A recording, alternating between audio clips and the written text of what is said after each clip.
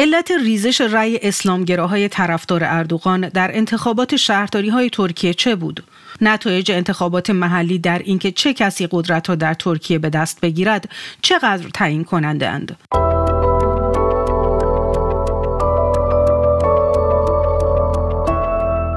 سلام من بیتا آذری هستم با برنامه دیدگاه نتایج این انتخابات نشان می‌دهد حزب جمهوری خلق حزب مطبوع امام اغلو علاوه بر کسب بیشترین رأی در آنکارا و استانبول 15 کرسی دیگر برای شهرداری در شهرهای سراسر کشور به دست آورده. امام اغلو خطاب به طرفدار خوشحال خود گفته کسانی که پیام ملت را درک نمی کنند در نهایت شکست خواهند خورد. امشب 16 میلیون شهروند اهل استانبول هم به رقبای ما و هم به رئیس جمهور پیام دادند. اردوغان نیز در اولین واکنش به نتایج انتخابات گفته پیام رأی دهندگان را دریافت کرده و اگر اشتباهی مرتکب شده ایم آن را در سالهای آینده برطرف می کنیم. در دیدگاه برای بررسی جزئیات بیشتر و تأثیر نتایج این انتخابات بر آینده قدرت در ترکیه با فرزیا ثابتی خبرنگار ایران اینترنشنال از ترکیه همراه می شویم. خانم ثابتی ابتدا برای شنوندگان ما از میزان مشارکت مردمی و فضای حاکم بر انتخابات شهرداری های ترکیه و نتایجش بگید. بعد بریم سراغ واکنش ها و تاثیرش بر آینده سیاسی ترکیه. خب انتخابات روز یک شنبه در ترکیه یک انتخابات محلی بود و بر این حساب که در این انتخابات مسئولین شهرها و اداره شهرها و روستاها قرار بودش که مشخص بشه در دست چه کسانی خواهد بود. برخلاف انتخابات بهار گذشته که یک انتخابات سراسری برای ریاست جمهوری بود و مشخصا ائتلاف ها با هم داشتن رقابت می‌کردن در این انتخابات ما شاهد وزن کشی احزاب در ترکیه بودیم. به نوعی که خب مشخص شدش که چه حزبی در ترکیه چه جایگاهی داره در میان مردم این کشور. بر اساس اعلام شورای عالی انتخابات ترکیه مشارکت 78 ممیز 11 صدم درصد بوده که یک مشارکت نسبتا بالایی هستش برای انتخاباتی که محلی هستش با توجه به اینکه خب ماه رمضان هم بود و یکی از نگرانی ها این بودش که خیلی در این انتخابات شرکت نکنند. در کلیت وقتی که به نتایج نگاه می‌کنیم پیروز این انتخابات حزب جمهوری خلق هستش که 37 ممیز 76 صدم درصد از آرا در کل ترکیه رو به دست آورده. این رقم بسیار بالا هستش با توجه به اینکه خب 34 حزب در این رقابت حضور داشتن. اردوغان و رقباش از جمله امام اغلو به نتایج انتخابات چه واکنش های نشون دادن؟ فرزیا خب بعد از سال 1977 این اولین پیروزی حزب جمهوری خلق هستش و از طرف دیگه بعد از سال 2002 که حزب عدالت و توسعه اقتدار و قدرت رو در ترکیه در دست داره در واقع این اولین باخت حزب عدالت و توسعه و به نوع باخت اردوغان هستش. به همین دلیل هم میشه گفتش که واکنش ها در همین هیته بوده. در حالی که اردوغان نیمه شب دوشنبه یعنی بامداد دوشنبه در بالکن مشهورش در حزب عدالت و توسعه اومد و به نوعی شکست رو قبول کرد و گفتش که این نتیجه نتیجه مطلوب و دلخواه ما نبوده. در طرف مقابل و تقریبا همزمان بودش که اکرم امام اغلو شهردار استانبول سخنرانی کردش و گفتش که دوران حکومت تک نفره در ترکیه به پایان رسیده و به سمت دموکراسی حرکت خواهد کرد این کشور و به نوعی بیشتر از اینکه به عنوان یک شهردار صحبت بکنه به عنوان یک چهره ای که می‌خواد برای آینده ترکیه قدم برداره صحبتهاش رو انجام داد. در حالی که خب اردوغان از مشکلات در داخل حزب صحبت کرد به اینکه روی کردی به داخل خواهند داشت و بررسی خواهند کرد. این نتیجه رو در طرف مقابل در مخالفان ما می‌بینیم که دارن از این صحبت می‌کنن که یک عصر جدید براشون آغاز شده و دبیر کل جدید حزب جمهوری خلق که بعد از شکست بهار گذشته منصوب شده. او در صحبت خودش به این موضوع اشاره می‌کنه که یک فصل جدیدی داره برای ترکیه آغاز میشه. اردوغان از دریافت پیام مردم در انتخابات و اصلاح اشتباهات صحبت کرده. خانم ثابتی منظورش به طور مشخص کدوم اشتباهاته؟ خب خیلی ها بر این باور هستند که اونچه که باعث شکست اردوغان شده سیاست های اقتصادی او بوده او در مثلا در مورد اینکه درآمدی که برای بازنشستگان در نظر گرفته شده بسیار پایین هستش با توجه به تورمی که در ترکیه وجود داره.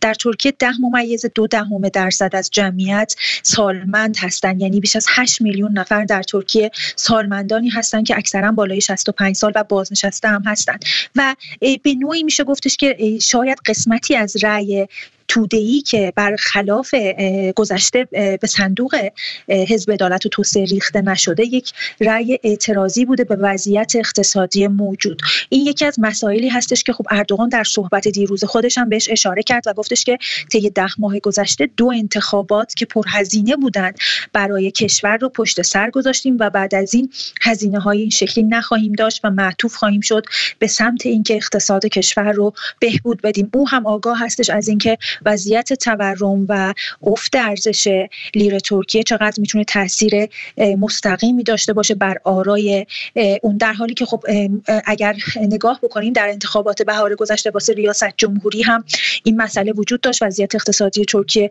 مناسب نبود. ولی خب امیدها بر اینکه تغییری ایجاد خواهد شد وجود داشت و طی ده ماه گذشته این روند با تغییر کابینه مخصوصا تغییر تیم اقتصادی اردوغان هنوز شکل نگرفته و به نوعی در انتخابات محلی میشه گفتش که اعتراض کردن مردم به وضعیت اقتصادی و شاید اصلی ترین چیزی که اردوغان بخواد تغییر بده همین باشه. به غیر از مسئله اقتصادی فکر می‌کنید دلایل کاهش رأی اردوغان از طرف اسلامگراها دیگه چی می‌تونه باشه؟ ببینید ما نمی‌تونیم کامل بگیم که رأی اردوغان از سوی اسلامگراها کاهش پیدا کرده. درسته که اردوغان به حزب جمهوری خلق که طرفداران سکولاری در ترکیه داره و اونها رو نمایندگی می‌کنه در عمل و در آنچه که در ظاهر دیده میشه باخته. اما ما شاهد این هستیم که حزب دوباره رفاه حزبی که در سال 2018 تأسیس شده حالا در رتبه سوم قرار داره و 6 درصد آرا در کل ترکیه رو به دست آورده. این حزب در سال 2018 از سوی فاتح اربکان تأسیس شد. فاتح اربکان کسی هستش که پسر نجم الدین اربکان هستش پدر معنوی اسلامگرایان در ترکیه و خود اردوغان در دهه 90 در بین سال 94 و 98 که شهردار استانبول بود از حزب رفاه که دبیر کلش اربکان بود به این منصب رسید. و در واقع میشه گفتش که قسمتی از آرای اسلامگرایان رادیکال در ترکیه ریزش پیدا کرده و به سمت حزب دوباره رفاه رفته این مسئله رو باید توجه داشته باشیم که حزب دوباره رفاه بر این مسئله تاکید داشت که سیاست های اردوغان در برابر اسرائیل کافی نیست و او همچنان داره به تجارت با اسرائیل ادامه میده و در زمینه آرمان فلسطین هم درست عمل نکرده مراد کروم وزیر شهرسازی ترکیه در بین چهره های امروز این کشور چه وزن و جایگاهی داره فرزیا میشه آیا او رو یک رقیب جدی برای کسب قدرت دونست؟ خب در انتخابات استانبول که حزب عدالت و توسعه اومد وزیر سابق اردوغان یعنی مراد کروم رو به عنوان کاندیدا معرفی کرد او به عنوان یک رقیب جدی در برابر اکرم اماموغلو به نظر می رسید اینکه وعده داده بودن که ما زیر ساخت ها رو بهبود خواهیم داد مقاوم سازی انجام خواهیم داد در استانبول در برابر زلزله وعده های کمی نبودن. بعد از زلزله در سال گذشته که بسیار هم مرگبار بود نزدیک به 250 هزار نفر از ساکنین استانبول این شهر رو ترک کردن که مهمترین موضوعی که در این ترک کردن و مهاجرت از استانبول مطرح میشه یکی مسائل اقتصادی هستش و یکی هم موضوع زلزله هستش. اینکه وعده بهبود شرایط برای مسکن در استانبول در زمینه زلزله مطرح شد یک وعده بسیار کاربردی و به نظر می اومدش که رای بیاری هستش به قول معروف برای مراد کروم. اما اون چه که در نتایج این انتخابات ما دیدیم حاکی از این هستش که این وعده از سوی حزب عدالت و توسعه با توجه به شرایطی که هنوز زلزله زدگان در ترکیه باهاش دست و پنجه نرم می‌کنن چندان بردی در مشخصا استانبول نداشته و او تنها نزدیک به 39.5 درصد آرا رو به دست آورد. سوالی که پیش میاد فرزیا اینه که آیا توان ائتلافی رقبا در اینکه چه کسی رهبری آینده ترکیه رو در دست بگیره نقش تعیین کننده تری داره یا صرفا پیروزیشون در انتخابات شهرداری ها خب ببین وقتی که انتخابات سراسری بهار گذشته رو با این انتخابات مقایسه بکنیم یک تضاد آشکار وجود داره. در انتخابات بهار گذشته که برای ریاست جمهوری بود مشاهد ائتلاف ها و رقابت ائتلاف ها بودیم. چه در جبهه اردوغان و چه در جبهه مخالفان او اما حالا این احزاب هستند که به تنهایی وارد رقابت شدن. این مسئله بسیار مهم هستش که از یک طرف اعتماد به نفس احزاب برای برخی از اونها که البته پیروز این رقابت بودن بالا میره و اونها توان چانه زنیشون در واقع برای آینده ترکیه بالا میره. از طرف دیگه احزابی که در انتخابات بهار گذشته برای ریاست جمهوری حرفی برای گفتن داشتن و خودشون رو مهم حساب می‌کردن. الان می‌بینیم که بسیار درصد رأی پایینی آوردن. به نظر میاد که برای انتخاباتی که در آینده در ترکیه شکل بگیره این احزاب هستن که به تنهایی وارد رقابت ها بشن مخصوصا در جبهه مخالفان. چرا که ائتلاف ها در زمینه مخالفان در ترکیه می‌بینیم که چندان جواب ندادن. در آخر فرسیا برای ما از تحلیل های رسانه ها و تحلیلگران از آینده اردوغان بگو. خب بسیاری از رسانه ها پیش از برگزاری انتخابات این رو یک محکی می‌دونستن برای اینکه آیا اردوغان اعتماد به نفس تغییر قانون اساسی رو خواهد داشت یا نه. انتخابات بهار گذشته آخرین انتخاباتی بودش که اردوغان از نظر قانون اساسی می‌تونست درش شرکت داشته باشه و خودش هم در کارزار انتخاباتی به این موضوع اشاره کرده بود. اما تحلیلگران برای این باور بودن که اگر حزب عدالت و توسعه در این انتخابات پیروز بشه احتمال تغییر قانون اساسی و حتی انتخابات زود هنگام بعد از اینکه اردوغان بتونه بار دیگه کاندیدا بشه وجود خواهد داشت. اما حالا بعد از اینکه خب پنج کلان شهر پرجمعیت ترکیه استانبول آنکارا ازمیر بورس ها و آنتالیا که یک سوم جمعیت ترکیه رو در خودشون دارن. به مخالفان رأی دادن. به نظر میاد که دیگه اردوغان دست به سمت تغییر قانون اساسی نبره و این مسئله مهمی هستش که آینده ترکیه رو به نوعی رقم می‌زنه. بسیار سپاسگزارم از شما فرزیا ثابتی خبرنگار ایران اینترنشنال از آنکارا ترکیه. از طرف خودم و علی رضا روشن تهیه کننده این برنامه از همراهی شما سپاس گذارم.